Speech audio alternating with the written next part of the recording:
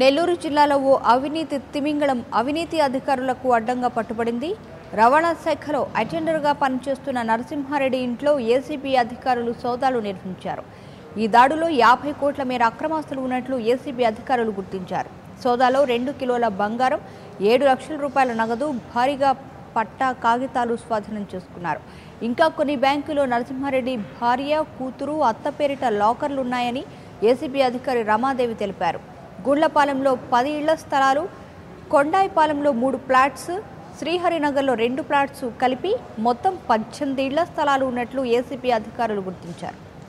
దీనికి సంబంధించి పూర్తి సమాచారం మా ప్రతినిధి తులసి ప్రసాద్ అందిస్తారు. తులసి ప్రసాద్ దీనికి సంబంధించి అప్డేట్స్ ఏంటి?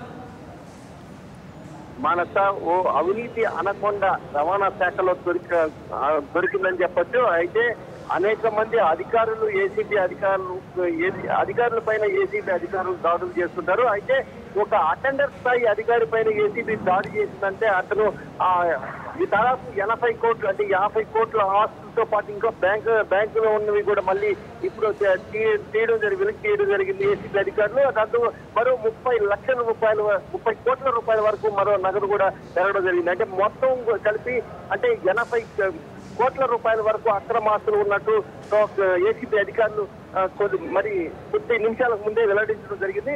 అయితే దాదాపు ఎనభై కోట్ల రూపాయలు ఒక అటెండర్ స్థాయి వ్యక్తి అంటే నరసింహారెడ్డి అనే వ్యక్తి ఒక అటెండర్ రవాణా నెల్లూరు రవాణా శాఖ కార్యాలయంలో ఒక అటెండర్గా మాత్రమే విధులు నిర్వహించేవాడు. అయితే అతను ఇంత స్థాయిలో ఎలా ఎలా కూడబెట్టాడన్న దానిపైన అధికార ఏసీబీ అధికారులే నిర్వేరిపోయే విధంగా ఆశ్చర్యపోయే విధంగా ఈ సంఘ ఈ రోజు దాడుల్లో పట్టుబడిన డబ్బు నగదు ఆశ్చర్యం కలిగించే విధంగా ఉంది.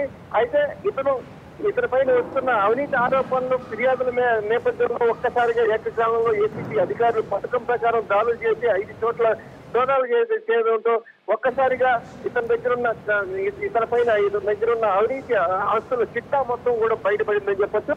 అంటే చాలా కాలం నుంచి కూడా ఇతను ఆ ఒకే ఒకే గూడు పుట్టని చేస్తూ అక్కడే అంటే నెల్లూరులోనే వీళ్ళ గత సంవత్సరం క్రితమే ఇతన్ని కావలికి జనరల్ ట్రాన్స్ఫర్లో ట్రాన్స్ఫర్ చేసినప్పటికి కూడా అక్కడి నుంచి తిరిగి గూడూరుకి ట్రాన్స్ఫర్ చేసుకుని గూడూరు నుంచి మళ్ళీ మూడు నెలల క్రితం నెల్లూరుకి వచ్చి జాయిన్ అయ్యి ఇటు విధుల్లో జాయిన్ అయ్యాడు. ఇదంతా కూడా ఉన్నతాధికారులు. అక్కడ ఉన్న ఉన్న ఉన్నతాధికారులు ఇతన్ని అడ్డ అడ్డం పెట్టుకొని అధిక లావాదేవీలు జరిపారని కూడా చెప్పొచ్చు. అంటే ఈ కిట్టపట్టణం ఇక్కడ నెల్లూరు జిల్లాలో ప్రధానంగా తీసుకుంటే రవాణాకు ఎక్కువగా జరుగుతుంటుంది. అంటే కృష్ణపట్నం కావచ్చు అది ఏలూరు జిల్లా అభివృద్ధి చెందిన నేపథ్యంలో అనేక లారీ అసోసియేషన్ లారీ అసోసియేషన్తో అదేవిధంగా చాలా అసోసియేషన్ అంటే ఆ ట్రాన్స్పోర్ట్ సంబంధించిన అసోసియేషన్ అన్ని కూడా అతను కనుసన్నలో మెరగాల్సిందే అంటే నరసింహారెడ్డి కనుసన్నలోనే ఉన్నాయని చెప్పొచ్చు. అంటే అధికారులకు ఇటు ట్రాన్స్పోర్ట్ యజమానులకు కూడా మధ్యవర్తిగా ఉంటూ ఒక దళారీ వ్యవస్థ లాగా దళారీ లాగా ఇతను పనులు చేసి పెట్టుకుంటాడు ఈ నేపథ్యంలోనే అతనికి భారీగా ఆస్తులు కూడా కూడగట్టాడు. ఆ అంతేకాకుండా అక్రమం గతంలో అంటే ఇక్కడ పనిచేసిన ఎంవీఓ ఎంవీలు కావచ్చు అంటే మోటార్ వెహికల్స్ ఇన్స్పెక్టర్లు అదేవిధంగా ఆర్టీఓ స్థాయి అధికారులు కూడా ఇతనితో లాలూచీలు ఉన్నాయి. చాలా వరకు కూడా లాలూచీలు ఉన్నాయి. అయితే వాళ్ళందరూ కూడా అక్రమాస్తులు కొంతవరకు ఈ ఇతని పేరు మీద బినామీ ఇతను నమ్ముకున్నా అంటే ఇలా ఈ కుటుంబ సభ్యుల పేరు మీద కావచ్చు ఇతని పేరు మీద కావచ్చు.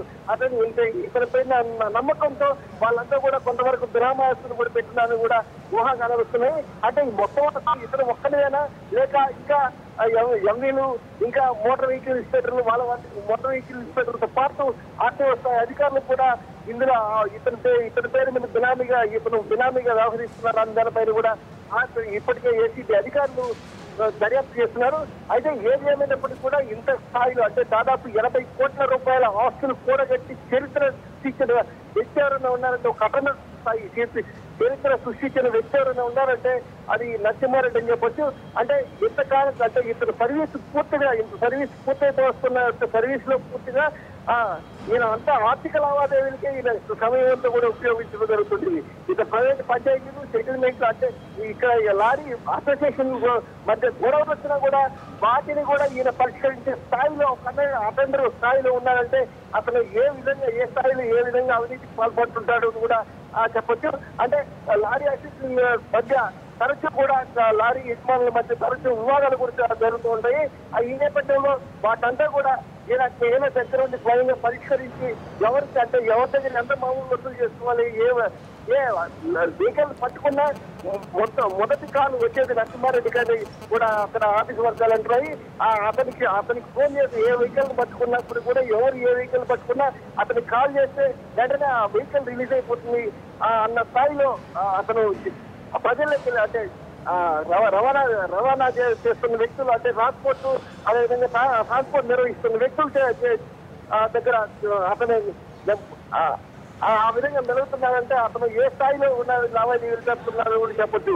అయితే ఇలాంటి అవినీతి ఆరోపణలు ఉన్న వ్యక్తి ఎంతకాలం అంటే ఇక్కడ ఉన్నప్పటికీ కూడా ఇతన్ని మళ్ళీ ట్రాన్స్ఫర్ చేసిన తిరిగి అధికారులే ఉన్నతాధికారులు అతన్ని అతని అవసరం ఎంతైనా ఉంది కావడంతో ఉండడంతో అతన్ని తిరిగి మళ్ళా ఇదే స్థాయిలో అదే అటెండర్గా అంటే ప్రమోషన్ నుంచి వెళ్ళినా కూడా ప్రమోషన్ ముద్దనుకుని తిరిగి అటెండర్ స్థాయికే ఇక్కడికే నెల్లూరుకే వచ్చి జాయిన్ అయిన వ్యక్తి ఎవరైనా ఉన్నారంటే నరసింహారెడ్డి చెప్పి ఇలాంటి ఆ అవినీతి ఆనకొండను పట్టుకోవడం ఇది ఒక విధంగా ఏసీబీ అధికారులకి ఆశ్చర్యం కలిగించే విధంగా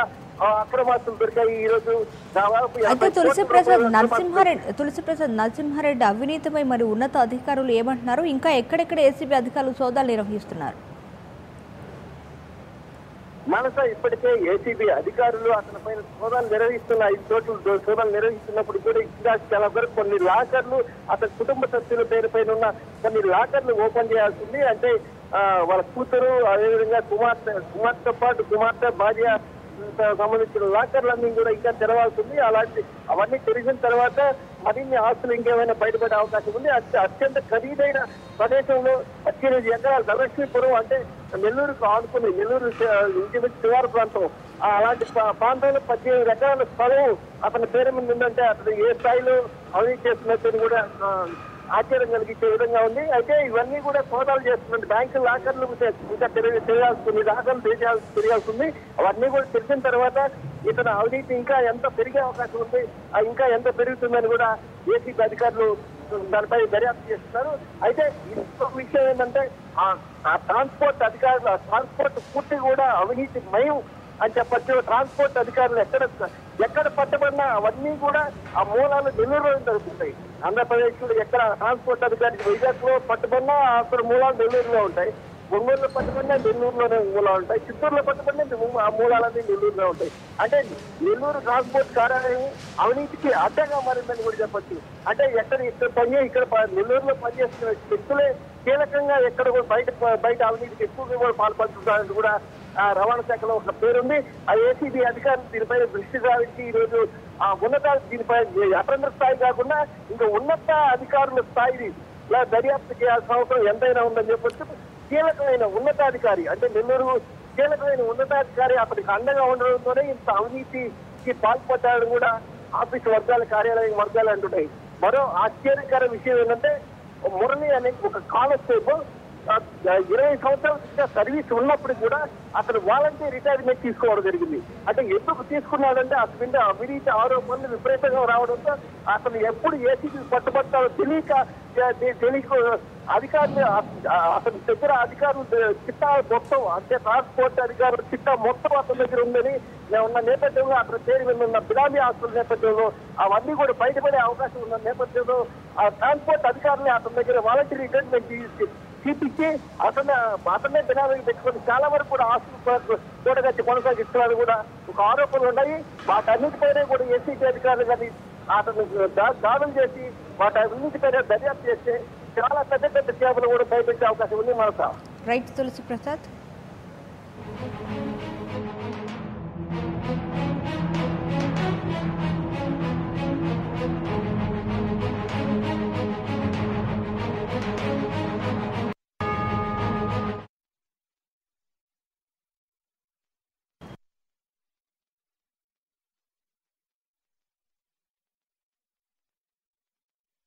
Shri RP Thakur sir ఆదేశాల మేరకు ఈరోజు ఇక్కడ మేము ఒక ఆదాయానికి మించినటువంటి ఆస్తుల కేసు శ్రీ కరాదు నరసింహారెడ్డి గారి మీద రిజిస్టర్ చేయడం జరిగింది. ఈయన ట్రాన్స్పోర్ట్ డిపార్ట్మెంట్లో నైన్టీన్ ఎయిటీ ఫోర్లో అటెండర్గా జాయిన్ అయ్యారు. ఈయన ఈ రోజుకి కూడా ఆఫీస్ సబార్డినేట్గానే వర్క్ చేస్తున్నారు. ఈయనకి చాలా ప్రమోషన్స్ వచ్చినా సరే ఈయన మొత్తం ప్రమోషన్స్ అన్నీ కూడా మానుకుని ఇదే పోస్ట్లో కంటిన్యూ అవుతున్నారు. ఈయన పేరు మీద ఈయన భార్య పేరు మీద ఈయన అత్తగారి పేరు మీద కొన్ని ఆస్తులు గుర్తించడం జరిగింది ఇప్పటి వరకు కూడా.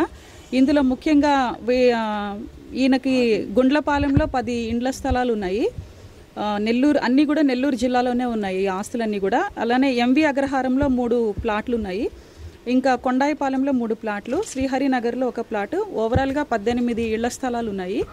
ఇది కాకుండా ఇంకా ధనలక్ష్మీపురంలో ధనలక్ష్మీపురంలో బుట్టెలో